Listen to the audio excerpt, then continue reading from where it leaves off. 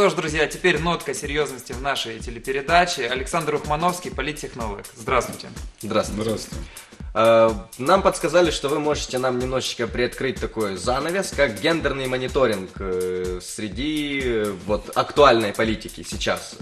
Как сейчас обстоят дела с гендерным разделением в политике украинской? Женщины рвутся в политику. Женщины всегда рвались в политику.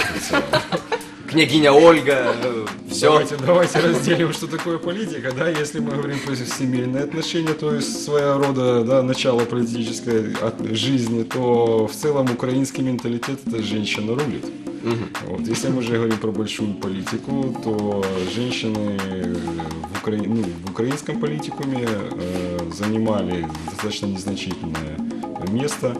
Вот, хотя мы все знаем достаточно известные да, фигуры в политике, то есть до- дошедшие до высших постов практически, ну, до самых почти высших постов. э, И это показатель того, что в целом у нас общество действительно демократическое, демократично, и э, женщина имеет все возможности попасть на любой уровень э, власти.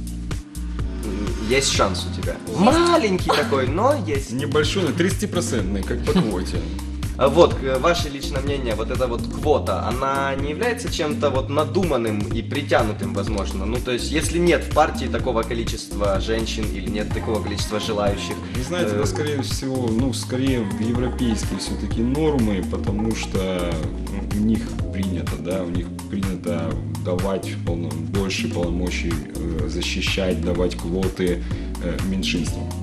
Есть, если женщин мало в политике, значит, давайте дадим им квоты, чтобы получилось больше. Я, например, лично никогда не наблюдал э, каких-либо проблем э, в участии да, э, женщин в политике. Как бы все то же самое на самом деле. Мы можем посмотреть, и те же самые есть ресурсные, да, там женщины-кандидаты, бизнесмены, которые идут во власть, э, импозантные. Точно так же мы видим э, негодяек, да, которых, э, которые недавно ну, были в куда же в политике без таких Без людей? этого. То есть все точно так же. И на самом деле, вот э, самое интересное с европейскими наблюдателями, когда я разговариваю, я всегда это подчеркиваю, что м, с- ну, мы много лет проводим исследования э, социологические.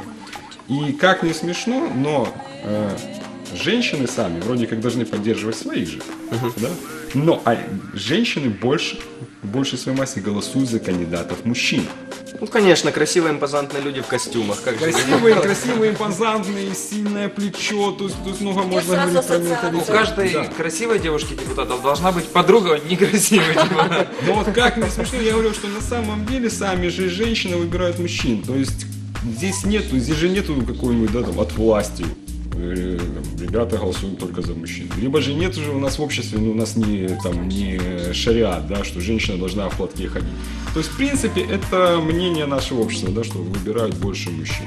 А это с чем это связано? Это у нас общество такое? Или женщины завидуют другим женщинам, которые стали... Мужья, мужья не отпускают. Дело просто. привычки, мне кажется. Да, вы, Дело- вы знаете, тут, тут много можно э, различных, различных версий выдвигать, начиная с хохмы, что да, ну какие женщины подружки, да, все, конечно же, они именно спецом Конечно, собрались три мужчины, естественно, должны пошутить. Да, можно О с точки дружбе. зрения шовинизма, можно с другой стороны действительно взять немножко психологию, что все-таки женщины стремятся увидеть какого-то, в нашем менталитете все-таки мужчина, защитник, воин, да, то есть высшие должности, То есть политика. довериться можно только мужчине. довериться мужчине, да. Э, То есть вариантов масса. И на самом деле это задача социологов изучать, почему украинский менталитет такой. Хотя, опять же, да, подчеркиваем, что ну всегда в украинской семье э, управляла женщина. Ну, начиная с наших анекдотов, тех же украинских, да, кума, ты, а, жинка, жинка, все боятся женщин. Но при этом в политику почему-то выбирают. То есть женщины как просто серый кардинал. То есть мужчины. Мне Я кажется, думаю, на да, самом деле да. такие Шесть. Ну, Да. Мужчина голова, женщина, это, это ж откуда? Это Возможно, фольклор да, всё. возможно, пусть идет м, политикой занимается, а я тут пока все. Джойстиком. Да. Не, ну и плюс это же реальная проблема для Верховной Рады. Вот э, хорошо, что сейчас в Верховной Раде немного женщин, потому что когда мужчины не могут договориться, дело подходит к драке. Если будет много женщин, они между собой не договорятся, тоже будет драка. Не буду, они просто не будут разговаривать друг с другом. Но женские бои, они привлекают Интереснее, больше, они да. интереснее привлекают. Это ж телеканал, это Рада, у них рейтинги побил просто... просто рекорды. Да, да. Это классная идея. Мы можем запатентовать это. Нет. Нет? И перед э, трибуной Верховной Раде поставить такой бассейн небольшой с грязью. О. И тогда... И, тогда И говорят, в Верховной Раде льют грязь. Да? женские бои в грязи, в грязи депутатов, привлекаем внимание всех телеканалов центральных ведущих с э, западных. Да, И они- деньги на благотворительность. Точно. И. Украина становится лидером на международной дипломатической И арене. сразу же параллельно рекламируем черноземы, в которых они будут Да, драться. Купальники. Купальники. Victoria's Secret классно. Нет, что-то из украинского, какой-то житомирский Житомир. купальник. Не- Неведома Виктория. Да, вот такая вот. Да. господа, в принципе, гендерный вопрос, он очень актуален.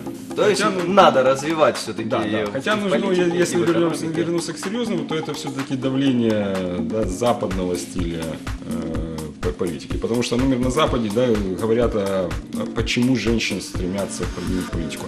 Ну, вроде как более миролюбивые, при- при- при- решения принимают более взвешенно, да. На войну в последний момент идут, да, уж в крайнем случае. Ну, вроде как, да, женщина, она более добрая.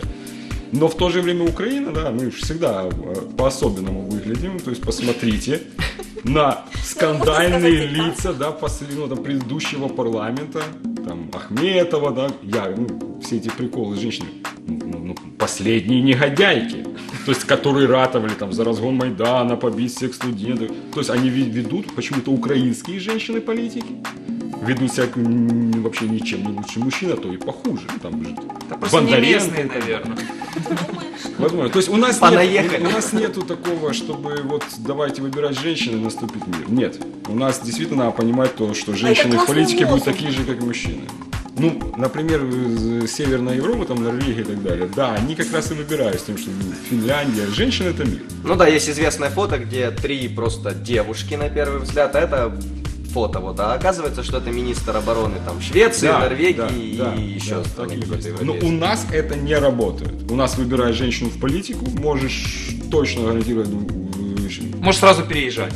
Мо- Можно сразу считать, что если надо будет разгонять третий Майдан, там, говоря, они будут спокойно отдавать команды разгонять, потому что они ведут себя точно так же, как мужчины. такие У вот нас равенство абсолютное, мужчин и женщин. Так. И если э, мужчину спросить, э, его можно в чем-то обвинить, девушка, у меня было плохое, плохое настроение. Вот У так. меня ноготь сломался. У меня ноготь сломался, разгоните Майдан. психанула.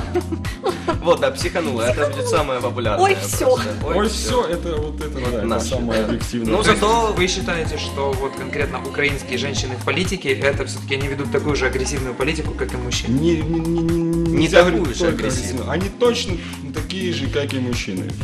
Часть, часть пассивные сидят просто, да, ничего не делают. Часть агрессивная. Ну, то есть нету различий, в реальности у нас нет различий между мужчинами политиками и женщинами политиками.